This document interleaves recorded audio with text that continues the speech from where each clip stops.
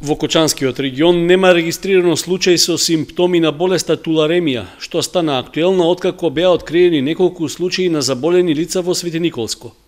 Болеста што се појавува како последица од заразниот измет на глодарите ги стави во подготвеност надлежните од Центарот за јавно здравје во Кочани, од каде најавуваат превентивни мерки во наредните денови.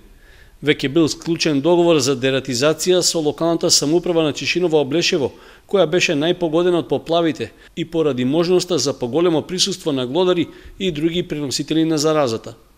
Во меѓувреме, веќе е извршена дезинфекција на куќите и помошните простории во селата што беа зафатени од надредените води, а за анализа се земаат и мостри од водата за пиење од пумпите и другите извори. Дератизација на шахтите и фекалната канализација во градот пак ќе се реализира како редовна активност, велат од Центарот за јавно здравје.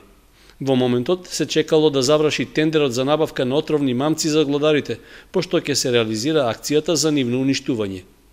Од Институтот за јавно здравје од Скопје во понеделникот излегоа со насоки за редовно хлорирање на водата, како и други превентивни мерки за заштита од туларемијата.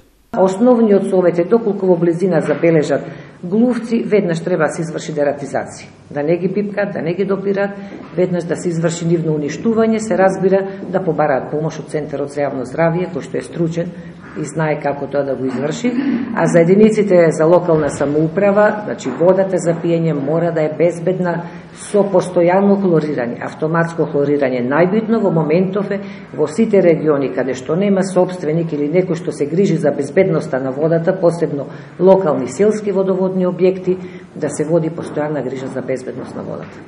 Според надлежните од Институтот за јавно здравје од Скопје, туларемијата се пренесува од глодари на луѓе, со допирање заразени животни, со вдишување прашина контаминирана со бактеријата, како и при користење загадена вода или храна.